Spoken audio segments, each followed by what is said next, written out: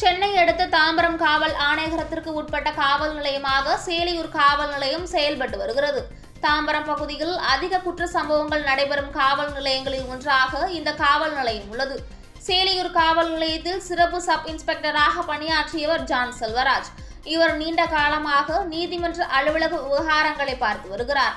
இதன் காரணமாக அவருக்கு பல குற்றவாளிகளுடன் நெருங்கிய பழக்கம் உள்ளது.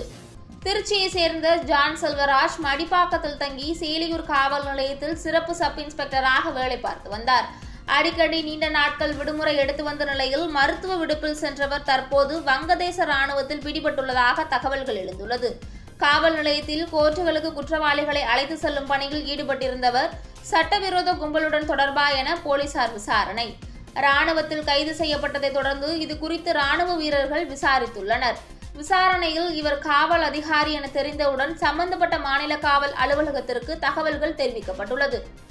போலீசார் விசாரணை சட்டவிரோத கும்பலுடன் தொடர்பு இருந்ததன் காரணமாக எல்லை கடந்து சென்றாரா என்ற கோணத்தில் போலீசார் விசாரணையை துவக்கியுள்ளனர். இவர் தங்கியிருந்த வீட்டை காவல்துறையினர் சோதனை செய்ய உள்ளதாக தகவல்கள் வெளியாகியுள்ளது. மேலும் எதற்காக மருத்துவ விடுமுறை என கூறிவிட்டு வங்கதேசம் எல்லை சென்றால் என்ன அவருக்கு நெருங்கிய தொடர்புகளிடம் விசாரணை முடுக்கிவிடப்பட்டுள்ளது. நீண்ட விடுமுறை எடுக்கும் அவர் அதே போன்று நேரத்தில் வங்கதேசம் சென்றாரா என்ற கோணத்திலும் விசாரணை நடைபெற்று வருகிறது. சர்வதேச கும்பல் யாரிடம் தொடர்பில் இருக்கிறாரா எனவும் விசாரணை நடைபெற்று வருகிறது.